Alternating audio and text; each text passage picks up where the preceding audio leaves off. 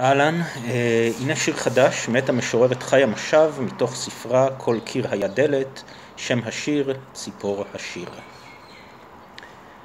אין ציפור שיר שם, אין ציפור שיר, אין חלון, את החלון שנפתח.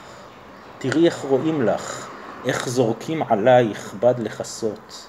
מה את מסתובבת ככה, בלי אור, בלי ציפור שתשיר לך עד שתרדמי.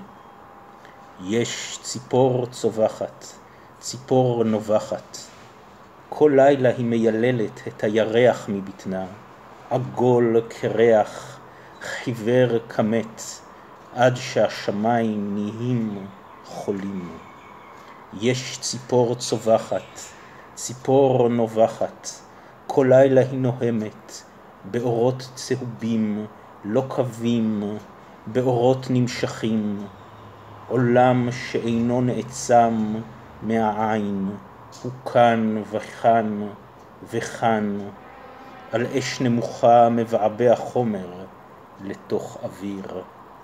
יש ציפור צווחת, יש ציפור צווחת, שמישהו יניח ידו עליה שתשקיט.